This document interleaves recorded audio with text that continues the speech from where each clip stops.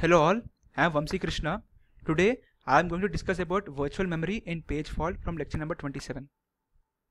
So previously we have discussed that there are two types of memories. One is the primary memory and the secondary memory. And uh, these three memories and another is cache. So this cache, primary and secondary memory, they are made up of, uh, they are built up of different RAMs and they have different access times. So cache has better performance or better access time compared to primary memory and which is better compared to secondary memory. And similarly, the cost of cache is much higher than primary memory and which is much higher than secondary memory. So this uh, memory arrangement or memory hierarchy is made so as to uh, access more, uh, data in a faster rate. So the main disadvantage in what we till now what we have studied the main drawback what we have studied till now is that the primary memory though it has high uh, low uh, access speed access time or high access speed. So but the size of primary memory is limited. Whereas secondary memory though it has large amount of space but access time is high. But in primary memory though the access time is high access uh, speed is high but the amount of size in primary memory is low. As a result if we want to uh, if you uh, if you if the processor wants high amount of data or when we are playing any game where the processor needs very high data this uh, primary memory will not suffice the size of primary memory will not suffice. So in this condition, we need something called as virtual memory. So basically virtual memory is a memory management technique that is implemented using both hardware and software and it maps primary addresses used by program called virtual addresses into physical addresses used in computer memory.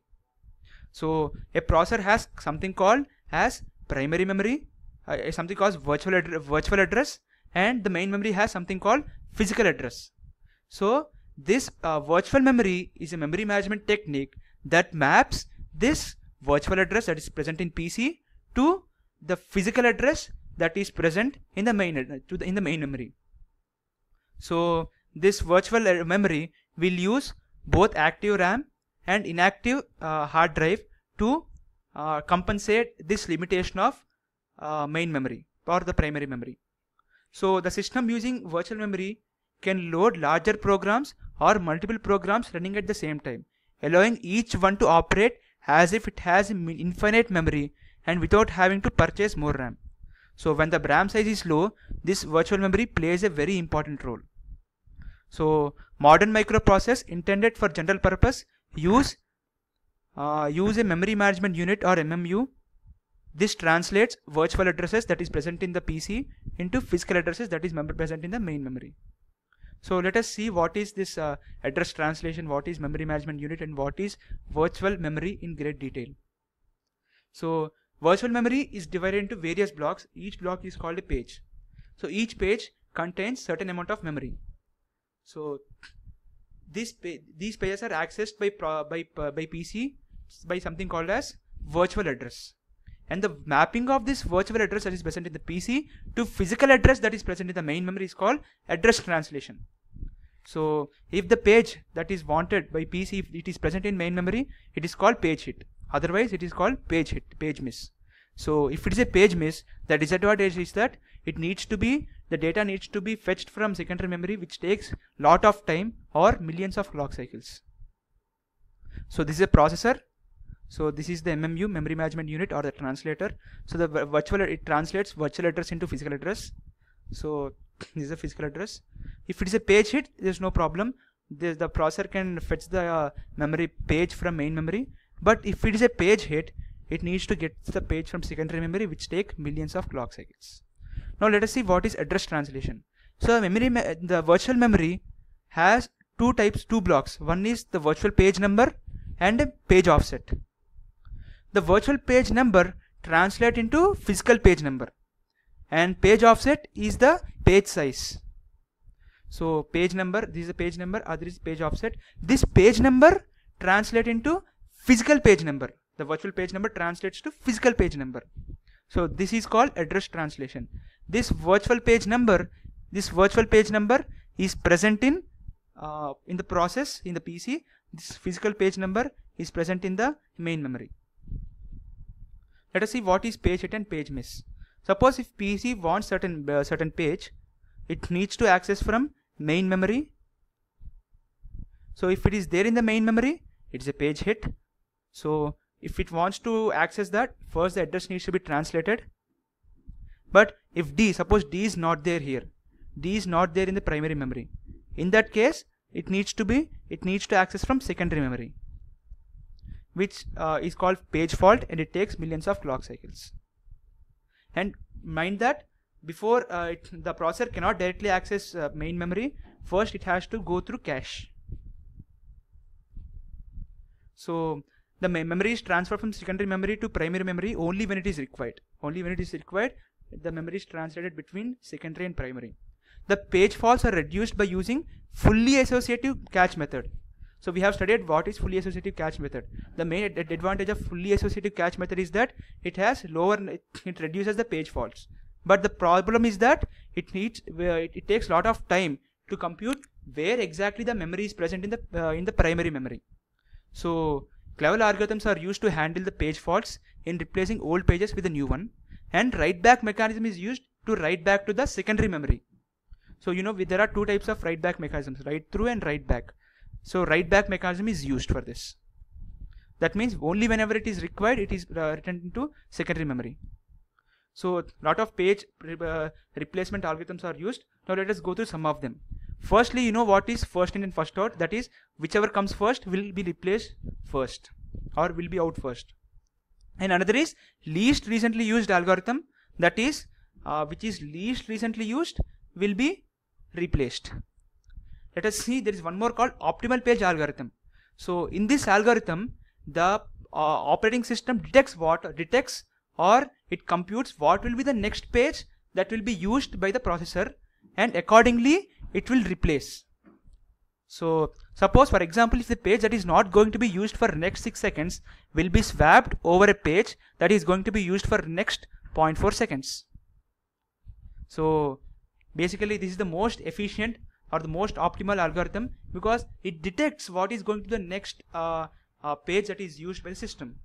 So but general processor cannot implement this algorithm. It needs high uh, high working uh, uh, processor to uh, use this type of algorithms but this these type of algorithms are still used and they still exist they exist basically so there are one there are few more algorithms called least frequently used algorithm those are the this is the algorithm where if the uh, it replaces the pages that are most least recently used. So but this algorithm fails in the situation in which the page is heavily used in the initial phase but it is never used again.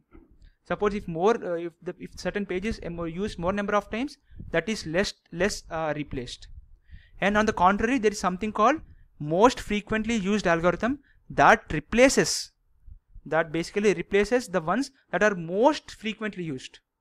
So this is on contrary to least frequently used algorithm. And the uh, and the logic is that if it is using so many times if it are used so many times it won't be used again. So that is replaced. So basically for general purposes for general purpose least recently used algorithm is used. So let us come back to the topic. If processor wants to uh, access a certain data so we have studied that uh, it uses fully associative cache that means it has to search there are no sets. And for accessing a particular page in the physical memory it has to search the entire physical memory the which is impossible. So what is the solution? So page table is the solution. So page table contains the dictionary. It acts as a dictionary between uh, between the pages and and the uh, and between the page uh, page and the uh, and it, its uh, address physical number in the physical memory.